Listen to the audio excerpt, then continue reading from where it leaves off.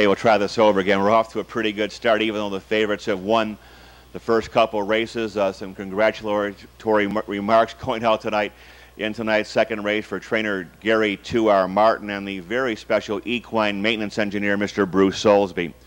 Uh, third race tonight might be a little bit more difficult. We had really a hard time to separate these girls. Uh, in here, number two, Katie Smith has been scratched, injured. Uh, saw the qualifiers here on press night and, uh, of course, last Saturday. Uh, 426 undercut set a pocket journey for uh, David Miller. Came out late, a big last quarter of 28. He does like the oval here. Made about 17,000 last year as a three-year-old top trainer in Jeff Cox. So we'll give undercut the nod in here. How about the five horse, Sassy Abu, who's really her re recent form hasn't been uh, all that spectacular.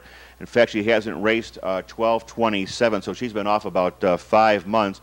But she loves Scioto Downs, as evidenced by her victory last year in 154 and 3.